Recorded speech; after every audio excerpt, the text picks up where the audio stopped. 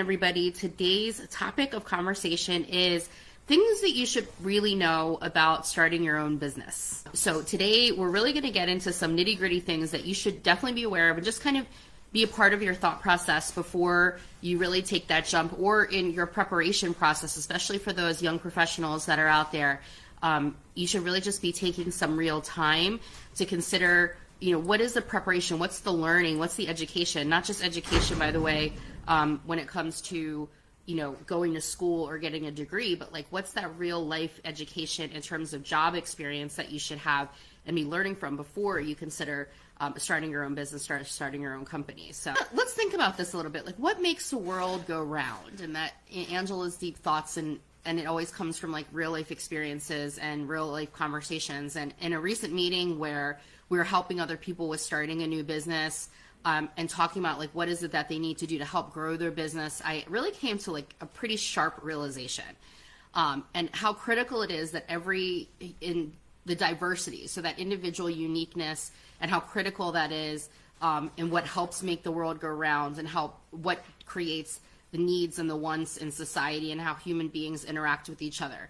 Um, so i want to just kind of identify that that you know in order for a business to be successful, you need to have that unique mix of personalities. But I will say that there is a pretty specific characteristic, I believe, that does need to exist in someone who wants to start their own business. And if it's not you, then somebody that you actively choose to participate in starting that business with you who's either a partner to you or is in you know in a in a senior leadership type of role with you in your business because if you would not describe yourself as the words I'm about to use um, then you would really want to take a little bit of a step back and go, who is it that I can take along with me on this journey of starting up my own business that does meet these characteristic qualities?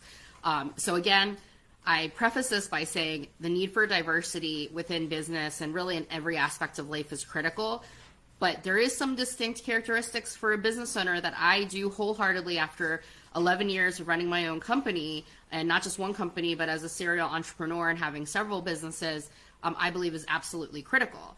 Um, and so I'll, pre- I'll, once again preface the description of this characteristic is saying there are a lot of people. Um, you know, when you think of the needs in business, there's a need for leaders and there's also a need for followers. And I find it interesting because there's definitely a lot of people who take offense to be called a follower as if it were a derogatory term. Um, but for me, I tend to be pretty direct in my communication. So for me, it's just a simple word of fact in terms of a definition. Um, the other part is to recognize that not everyone is cut out to be a leader or a manager or a trainer. Um, that it really is their your individual personality or nature um, sometimes just doesn't possess the qualities to lead or the interest, quite frankly, to lead. Um, and so, one characteristic I really, really, truly believe that is needed and also ironically often considered to be a derogatory term or word is aggressive right? So a lot of times you'll you'll hear this you know again hey this person's really aggressive. And i think the intention of using that word to describe someone is there for the reason to be like almost derogatory. But again, I tend to be pretty literal in my language, so I have never taken offense to that when someone's described me in that way. Um, but across the board, needing to be aggressive, assertive, direct, relentless, it's all necessary in order to not only start a business, but to grow it and to keep it going. Quite frankly, it's absolutely unavoidable.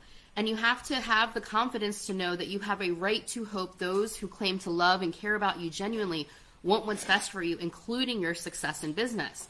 So the idea that those who are in your network, whether it's friends or family or colleagues or you know any other relationships that you might have, um, the you have to be someone with a character that isn't worried about somehow like causing damage or you know uh, offending a relationship somehow somehow by thinking, hey, this person in my life should want what's best for me, which includes supporting me in taking on a huge risk and a huge challenge like starting up my own business. Um, be aware of is I recently Googled what is the failure rate of small businesses in the U.S. And this is what I found. According to data from the Bureau of Labor Statistics, as reported on Fundera, approximately 20% of all small businesses fail within the first year. By the end of the second year, an additional 30% of small businesses will have failed. And by the end of the fifth year, about half will have failed. Um, so keep in mind that's just the folks who actually even have the courage to attempt it.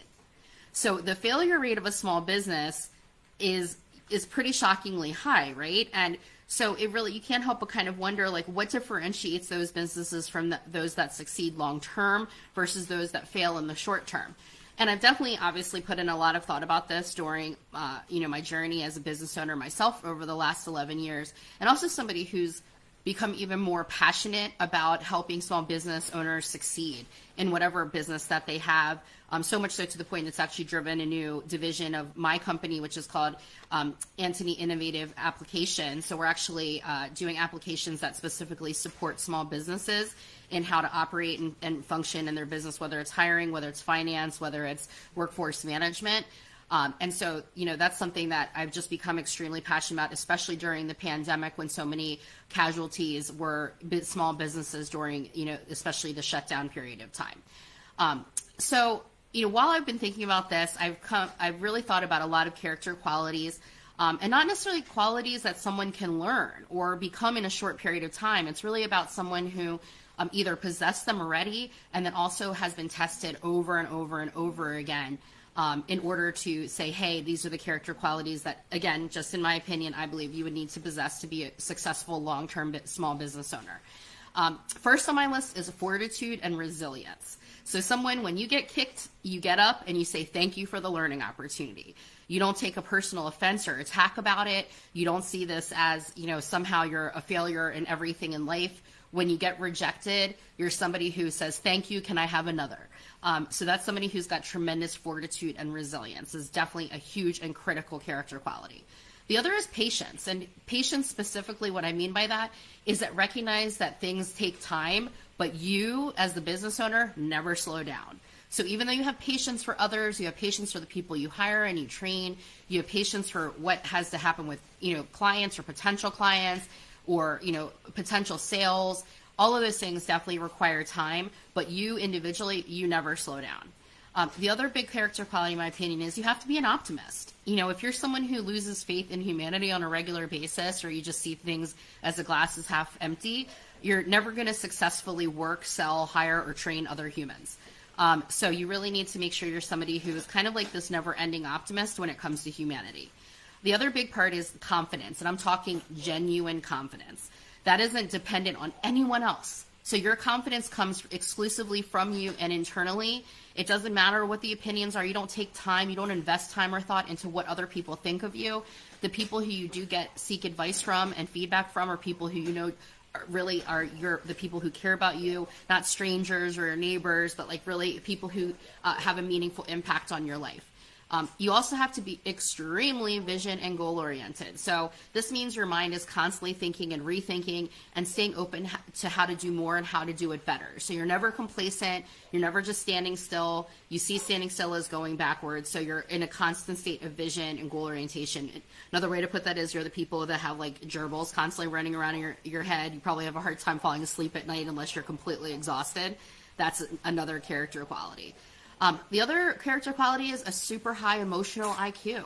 And what I mean by that is someone who uses accurate emotions, not being emotionless, not being numb or, you know, feeling nothing, but somebody who uses accurate emotions, especially in business. And also to recognize that when it comes to business, the balance will normally be something in the range of about 80% of the time is facts and logic based, and the other 20% is, is accurate emotion based. Um, so what drives your decisions, what drives what you do on a daily basis, really should be again facts and logic, but never overlooking the importance of human nature and human beings and how we treat one another. Um, and then most of all, as I mentioned already earlier in this video, is to be aggressive and to be assertive. I, am hearing like to be aggressive uh, cheer in the back of my head right now, of course. But um, and so what does this mean? It means no fear, no apprehension, no guilt. All of those useless negative emotions are not a part of who you need to be as a business owner. You know what you're deserving of, and you persistently go for it. You work and you fight for yourself as much as you would fight for the person you love most in the world. And that's how you are all of the time. Your motivations and your interests are constantly focused and they're really there to, to push you forward. Even in the face of adversity, in the face of rejection, in the face of failure, it doesn't matter. You're still pushing forward and you're still going for it.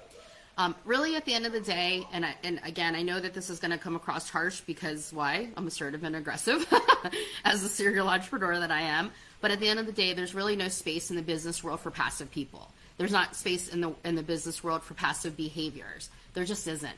Words like waiting, words like going back and repeating bad decisions are your business's death. And you have to be prepared to sacrifice, and those in your life who surround you every day or week must also be prepared to support that sacrifice.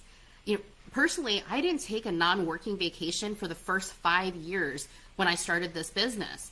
Um, and I'm talking even like when I went to India to visit with my husband's family. I didn't, I worked through those when I was in a completely different, I'm talking a nine and a half or a ten and a half hour time difference. I was still working during those vacations. So there was very real sacrifice there, but there was also tremendous discipline where working from home and operating my businesses from home requires when you're working, you're working, meaning no distractions from family. And when you're not working, you're not working and there's no distractions from business. So there's a lot of discipline and a lot of sacrifice that happens. Um, and you know, the other big part about it is um, you really need to do as much as you can for as long as you can. Like that's a huge tip whenever somebody asks me like what's the biggest tip I would give to somebody starting their own business and I would say you need to really do as much of the work before you ever consider hiring somebody. You want to avoid starting off your business in debt in terms of like having to seek out investor help do the work because you're the expert and you should be the expert in that specific area of business. And not only should you be the expert in that specific area of business, but you should also be someone who um, can teach others that way. If somebody, um, hold on one second. Hi, I'm in a live. Bye. Um, but again, if you're someone who is, you know, starting your own business, you should do every single thing, every single detail, as many of them as you possibly can during especially those years of sacrifice. And until your business is really making an income where you can afford to hire other people to do different things, and when you do hire them, you want it to be someone who you know one can you can train and can learn from you but can also bring something to level you up in terms of your business but only when you can afford it um, so, you know, again, let me just remind you all these tips that I provided to you, all of the descriptions of character qualities that I share with you. I don't share them with you to discourage you. If you look at and go, no, I wouldn't really describe myself as an aggressive person, or those character qualities that Angela shared are not really qualities that I would say describe myself. I'm not really sharing that with you to discourage you from starting your own business and taking those risks um, and to or to stop per- pursuing your entrepreneurial dreams. But I would really encourage you to take some time to really think this through. Be strategic. Don't take anything for granted. Don't take the decisions that you make in your life and in your business lightly. Do everything you possibly can in advance of starting your own business to be prepared and to have the tools and the resources that you need, um, including another person who does possess these qual- character qualities and you know, and you've got maybe the great idea and you're a great behind the scenes person, so you decide to partner up with somebody else who can bring all of those character qualities that I just described to make sure that your business is ultimately going to be successful.